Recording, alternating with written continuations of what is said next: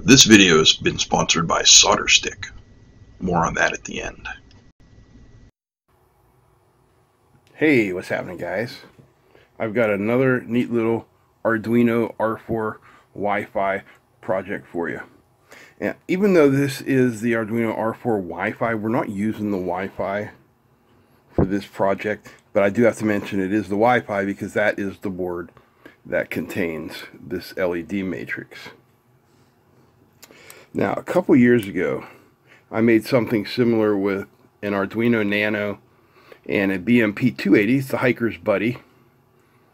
And uh, with scrolling messages here, they're probably not that easy to read, are giving us uh, temperature, pressure, and altitude.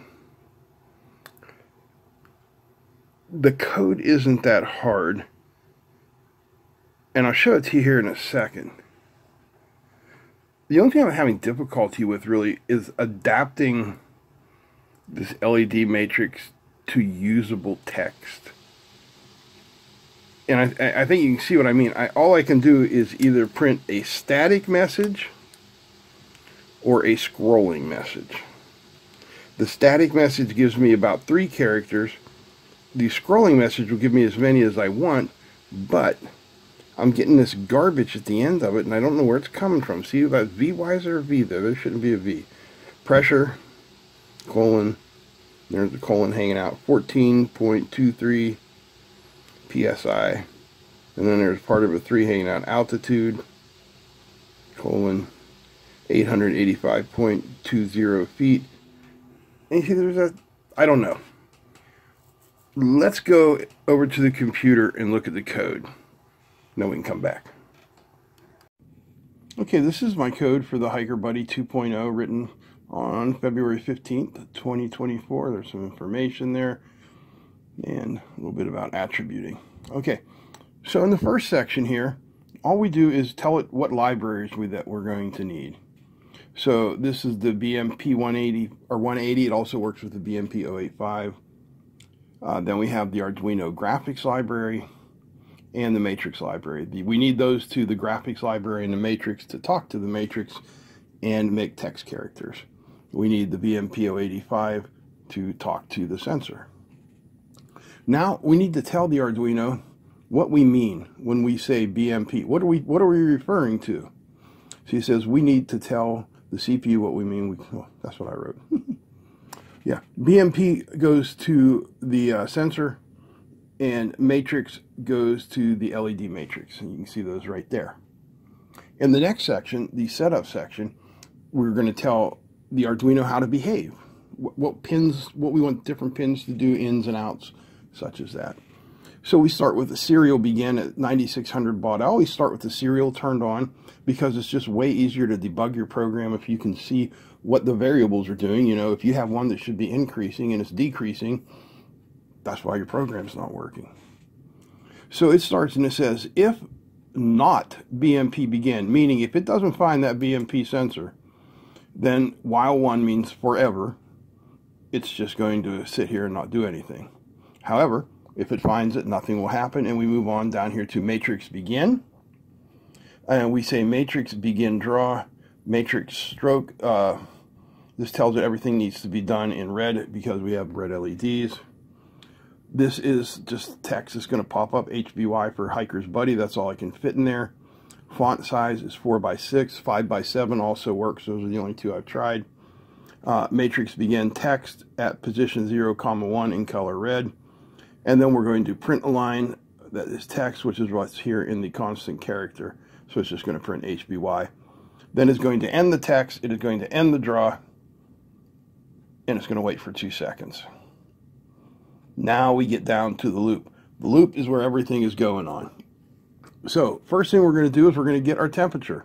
We're going to put it in a float variable called ftemp because I like Fahrenheit. And we're doing it by saying let ftemp equal BMP read temperature. That's going to give us our temperature in Celsius, which then I multiply by 9 divided by 5 and add 32 to get the actual temperature. Then we're going to come down here. We're going to get our pressure. I have PSI pressure, it's going to read it in pascals. My brain doesn't process pascals. It doesn't know what those mean.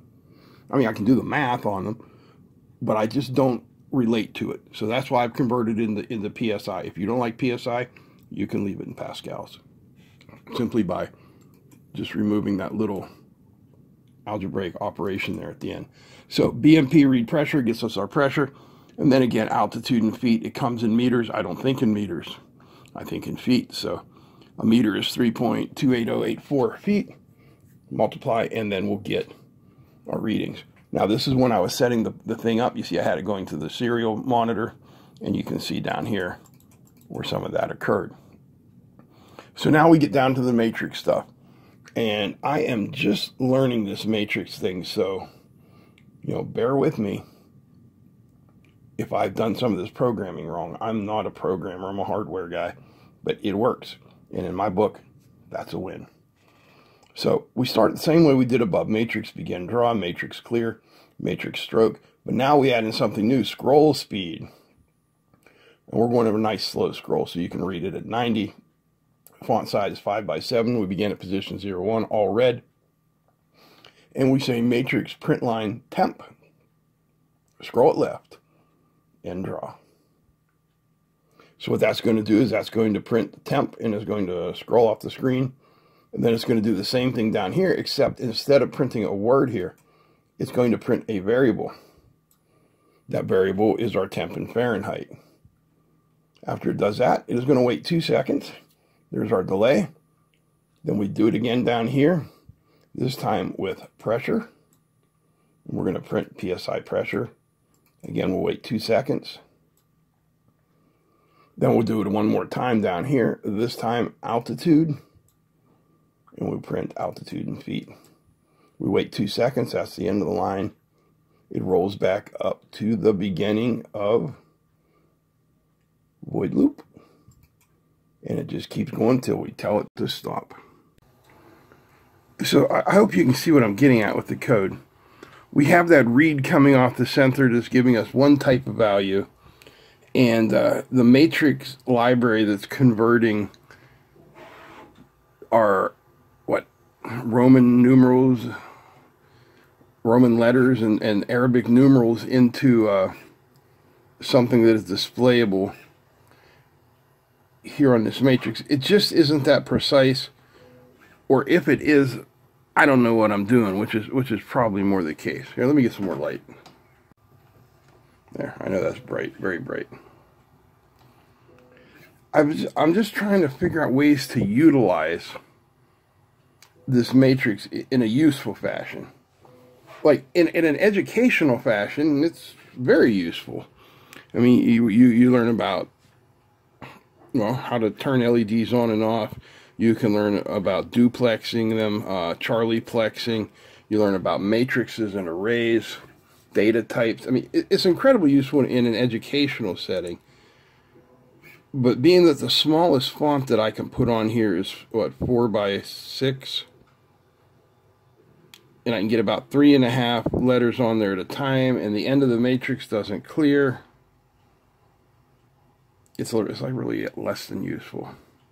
Anyway, the only other part of this project is the actual... Uh, BMP 180 sensor. I'll put a link down below where you can get one. They're super cheap. They're super small. Four pins, VCC, ground, SDA, and SCL. And as you can see, there you go. A5, A4. A5 is clock, A4 is data. So SCL to A5, SDA to A4. And then uh, 5 volts and ground here we're using the Adafruit library. I love the Adafruit library, so we're using those. Uh, this is not an Adafruit board, but it is compatible. So, hey, if you're a developer and you know a better way to hit that matrix, and think of it like this, a way that isn't going to be taxing on a guy who isn't a developer, let me know down below in the comments. And I will put the code for this down in the comments, and you guys are welcome to do whatever you want with it. Have fun. You know, information should be free. Learn all you can, have fun with it, and pass it along. All right, guys, that's it. I'm out. Peace. Today's video is brought to you by SolderStick. SolderStick makes quick, waterproof wire connections that last a long time and protect whatever it is you're working on. They sell different types of connectors, everything from T-tap connectors, which allow you to put a splice into the middle of a wire without having to cut the wire or remove any insulation.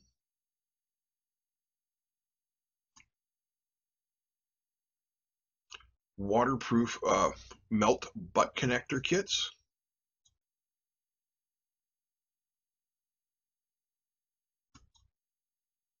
Spade connector kits, which if you work on cars or boats, you know how useful they will be.